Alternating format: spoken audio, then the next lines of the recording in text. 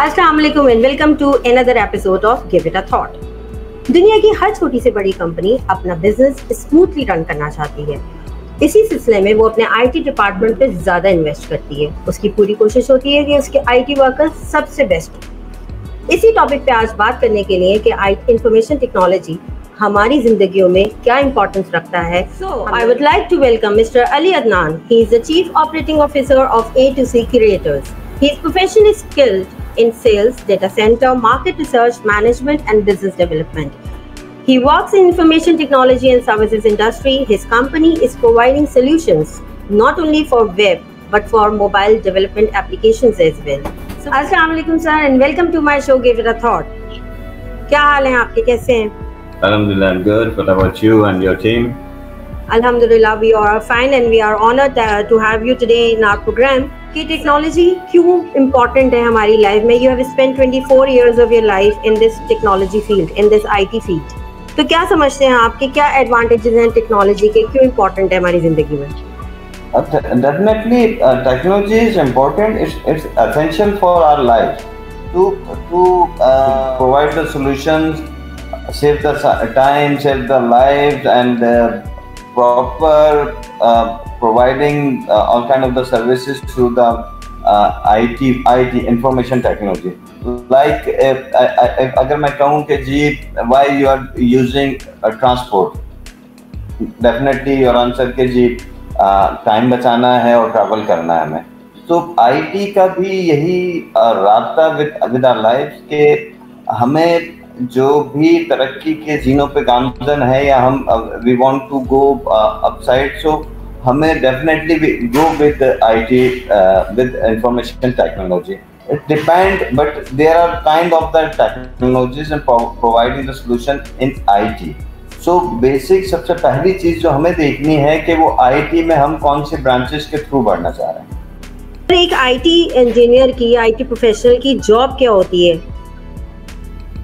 देखें IT engineers में ना अगेन मैं फिर कहूँगा कि there are so many branches do you think जी मैं आईटी इंजीनियर है क्या?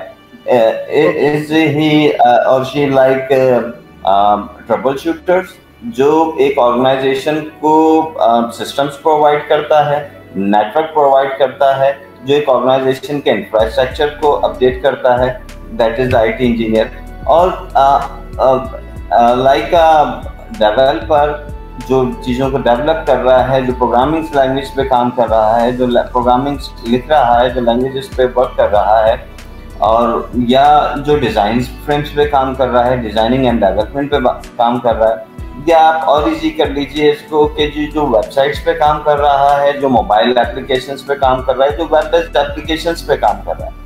सो so, अब आपको वो ब्रांचेस क्लियर करनी होंगी कि वो आईटी इंजीनियर जिस फ़ील्ड में है उसकी उस ब्रांच में क्या एक्सपर्टीज है और वो क्या कर सकता है right fine technology is technology a boon और curse It's a boon. Blessing it's a boon, and it depend on your your uh, uh, uh, things. कि आप उसको क्या सर्च करना चाहते हैं या आप उसको क्या करना चाहते हैं। बट ये डेफिनेटली uh, इसमें कोई कबाहत नहीं है या कहने में कोई दो राय नहीं है कि जी सकून। But depend depend on your depend on you where you want to go on the सरात straight line और you want to go somewhere outside so definitely it's depend on you it's like Nobel के Nobel ने आपको एक dynamite एक bomb ईजाद किया और आपको प्रोवाइड कर दिया कि आप रास्ते बनाएँ, आप पहाड़ों को काटें।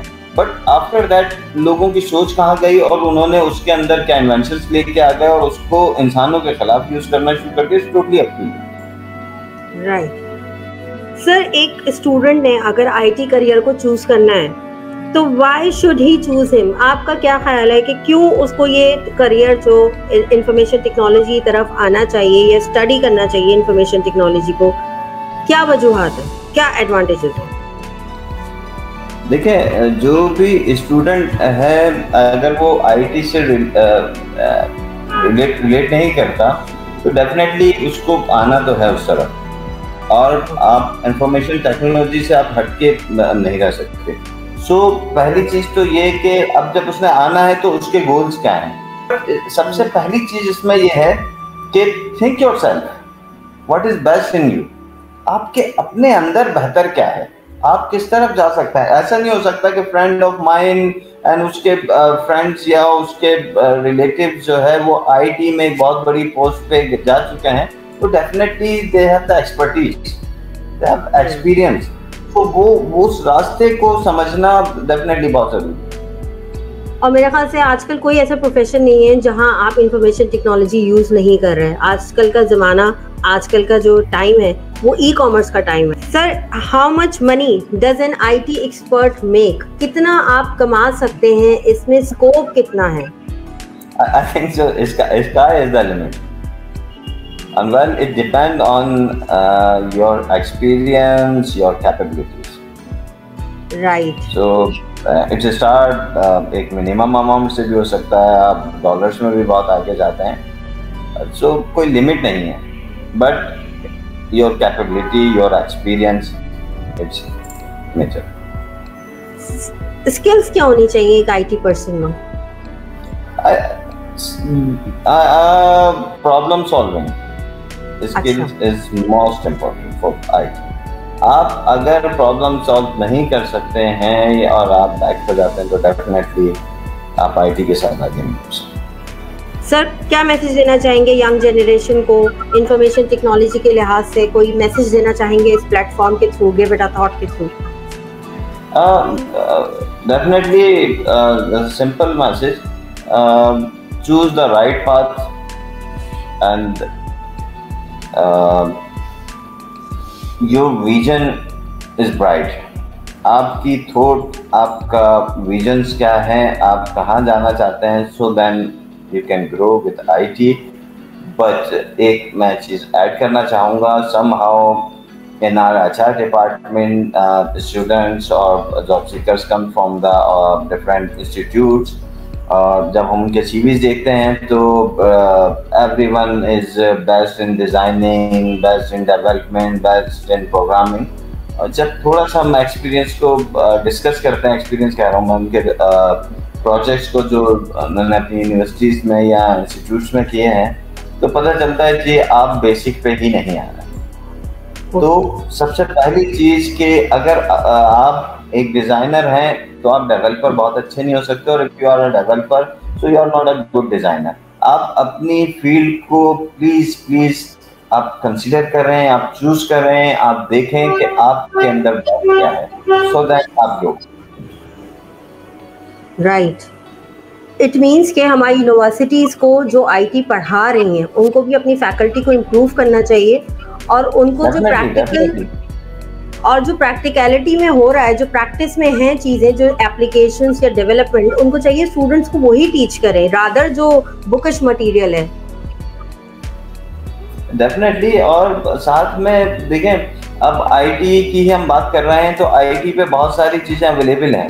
आप अगर कहीं रुकते हैं आपको कोई इशू आता है you find the issue so you can find the solution as well through the IT right right it means कि हमें अपनी एजुकेशन स्टैंडर्ड्स को इम्प्रूव करने की ज़रूरत है इंफॉर्मेशन टेक्नोलॉजी में स्पेशली क्योंकि जब स्टूडेंट्स फ़ील्ड वर्क में जाते हैं तो उनको वहाँ प्रॉब्लम्स फेस करनी पड़ती हैं।